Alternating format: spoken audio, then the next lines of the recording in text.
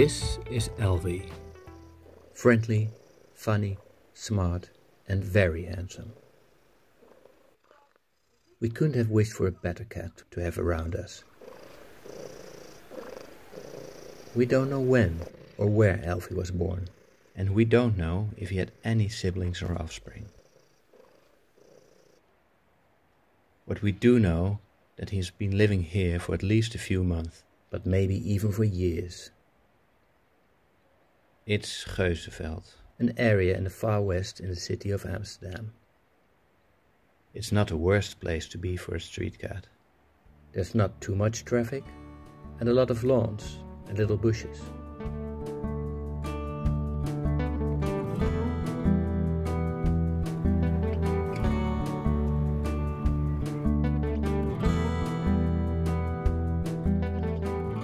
Alvi must have lived here among many other cats, some stray, some belonging to owners.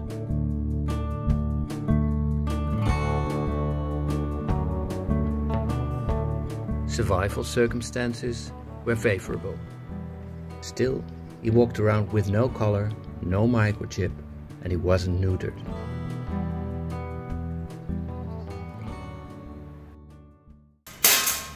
But someday in spring, Alvi got caught in a trap. A trap set up by the SAZ, a local animal welfare foundation. Whenever the SAZ gets a report about a stray cat walking around, they take action. They'll try to find out if a cat really has no owner, and if not, they set a trap. Once caught, each cat gets a health check and will be treated for any disease it may have. It will also get neutered or spayed.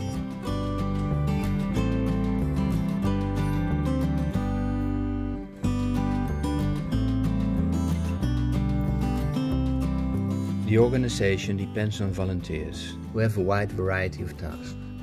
Entertaining the cats is one of them. Once resocialized, a cat will move to a shelter to be adopted. In Alvi's case, he was brought to the Poezenboot. It's the world's one and only floating cat shelter, and it gets visited by thousands of tourists each year.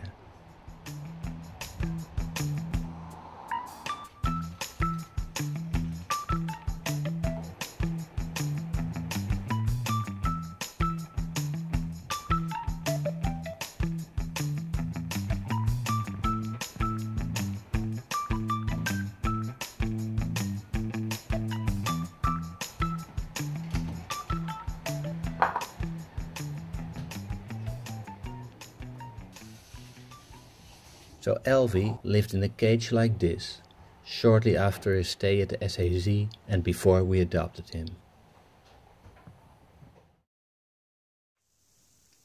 At the beginning, Alvi would mainly hide, behind the couch or under the bed. He also began to pee everywhere in the house, preferably on blankets and carpets.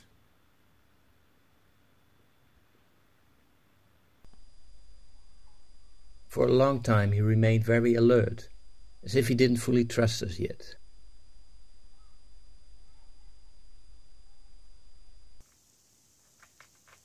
After about half a year, things drastically improved. He stopped being outside the box and began to show more of his playfulness.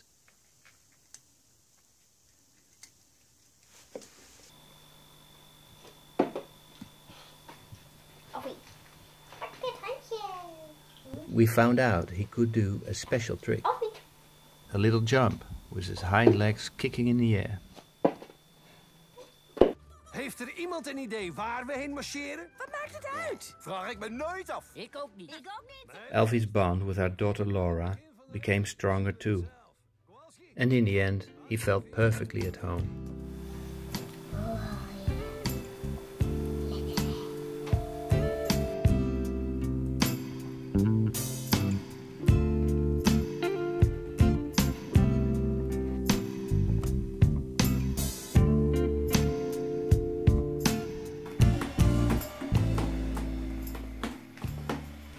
Once he felt comfortable indoors, Alvi was ready to explore the enclosed area at the back of our house.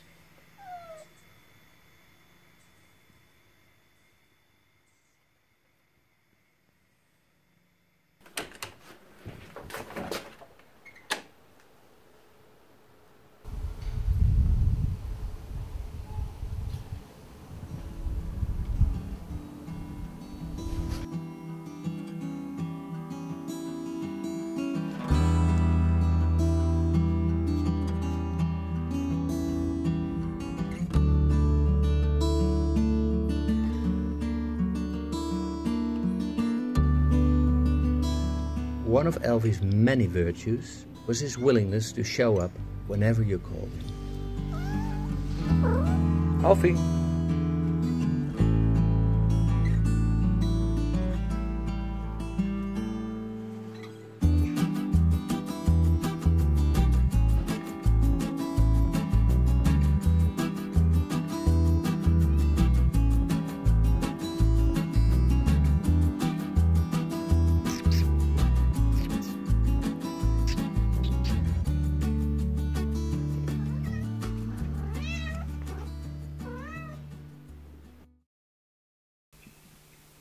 Everyone knows cats are extremely funny animals, and Alvi was no exception.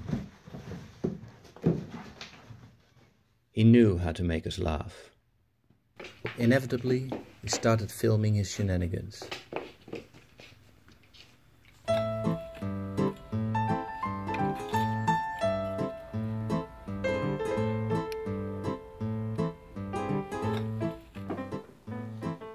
Some point, there was so much footage, it just screamed for starting a YouTube channel. All about Alvi.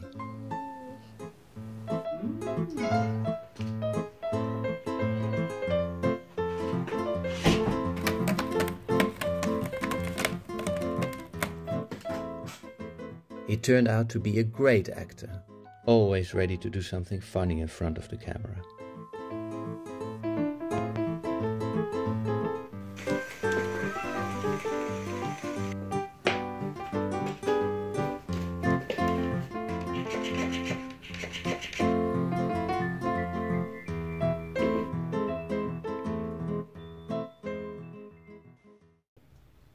But he wasn't always willing to cooperate.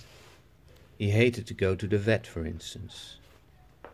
Getting him into the carrier always took a lot of creativity. Alvi was a healthy cat, but at some point his left eye began to look blurry. The eye doctor diagnosed a cataract, which meant his eye would have a high risk of infection. From that point on, we needed to have his eye checked regularly. Luckily, his eye got infected only once.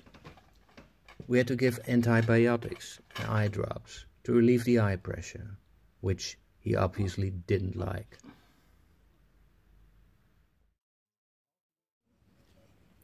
As time went by, we reached a point we felt totally connected with Alvi. He turned out to be the most affectionate cat you could ever think of. No words were needed to understand each other.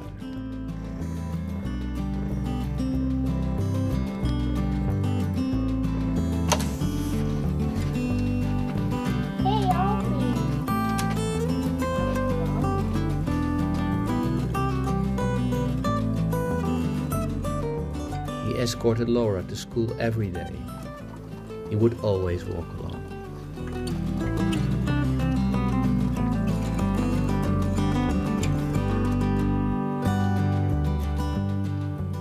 He would stop at the door at the end, and he would stay there, faithfully waiting for her.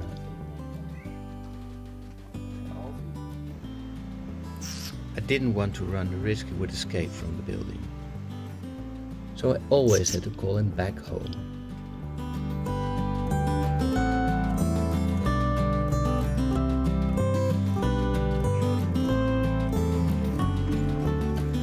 These years he escorted Laura to school.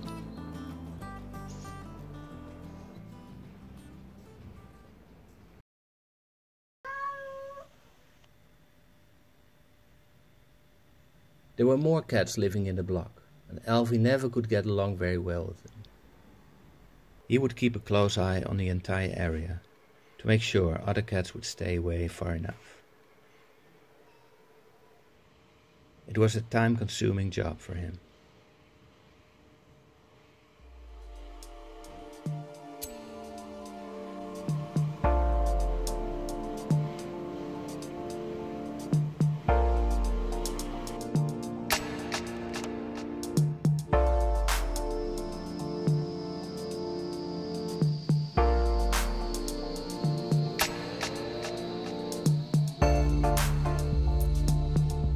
Not all cats accepted Alvi's dominance. A fellow ginger, Cat Edward, was his main rival. Edward challenged Alvi by walking through his territory and even sleeping on his bench. There have been a few short fights, but in the end, there was mutual respect and no major injuries occurred.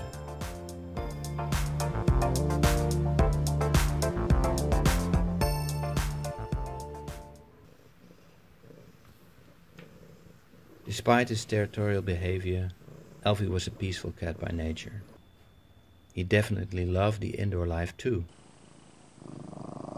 Our house was a safe haven, a place to play, cuddle, and to enjoy his food.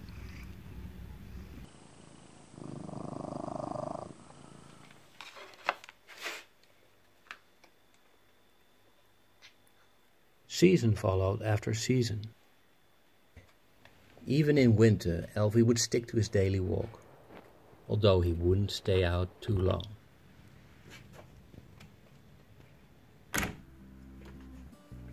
In summer, he would stay outside much longer to enjoy the sunshine.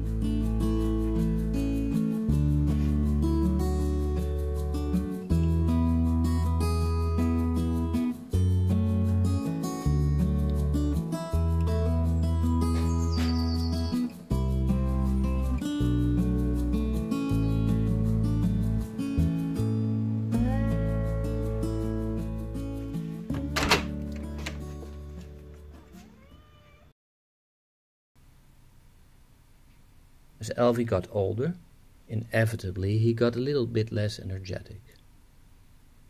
At some point, his jumps got a little less high. To give him a bit of a nudge, we made special stairs for him to get up the bunk bed more easily.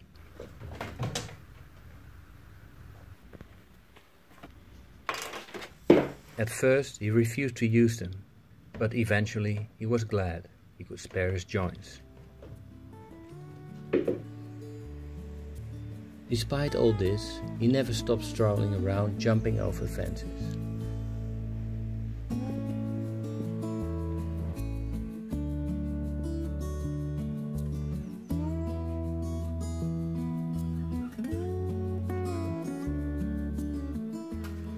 One day, we had to go to the vet again to have his teeth cleaned but also for a general checkup.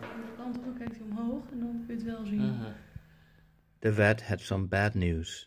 So far, Alvi's eye pressure had always been okay, but this time it was far too high. Even so high, the dental surgery had to be cancelled. Something had to be done very quickly. High eye pressure can be extremely painful. Sadly, it was impossible to really cure his eye condition. So the vet gave us two options. Either giving him eye drops several times a day during the rest of his life, or just have his eye removed. And according to the vet, the second option would be best. Of course, we wanted to save Alvi's eye. So we took a few days to consult other eye doctors but they all confirmed the vet's opinion. So, in the end, with a heavy heart, we bit the bullet.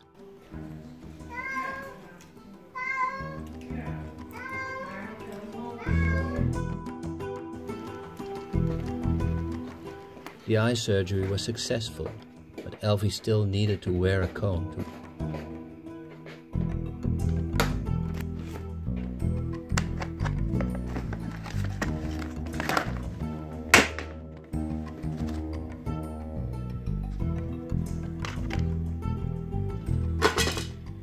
We felt so sorry for him. The cone made simple things like eating, scratching, and cleaning almost impossible.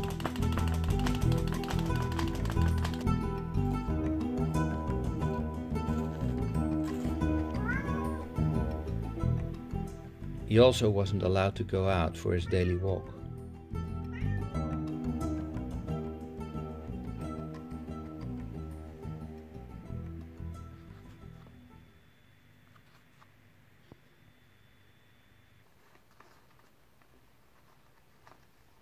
After ten long days, the cone could finally be removed.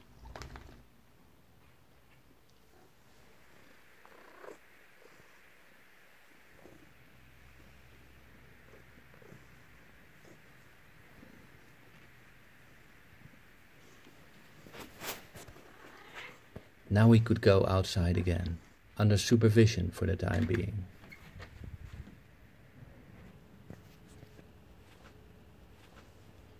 We were determined to help him as much as possible, to get used to his new life as a one-eyed cat. We put a new cat tree on the balcony, so he could sit high up and have the advantage over other cats trying to enter his territory.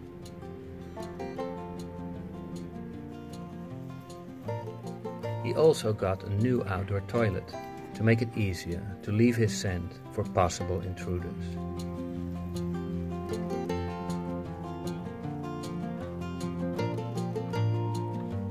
But it was amazing to see how quickly Alvi adapted.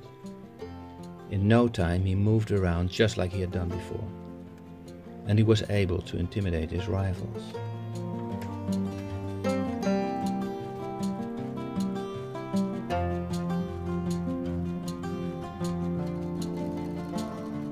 All in all, he was still the same happy cat as we always known him, not bothered whatsoever by being just one-eyed.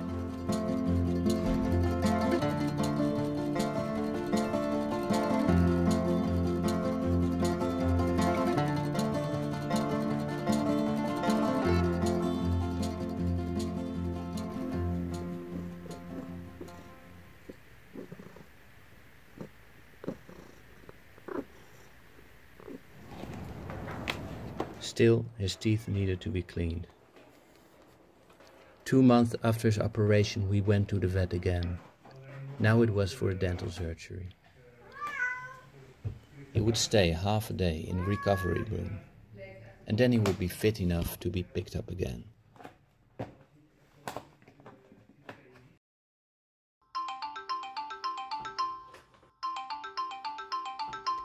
And that's where the story suddenly ends.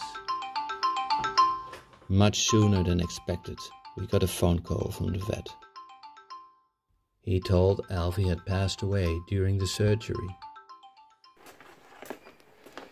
Unexpectedly, they had him checked first. He seemed in good physical condition, but nonetheless his heart had suddenly stopped beating. CPR had been tried, but sadly it was in vain.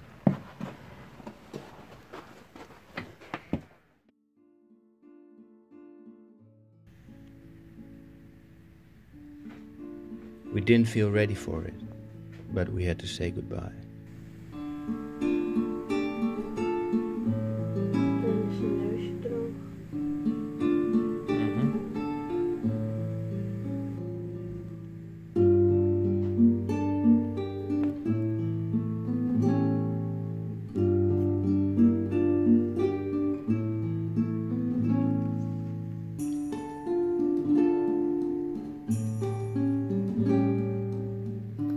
Gave him a mousey to keep him company. And we made paw prints in tablets of clay.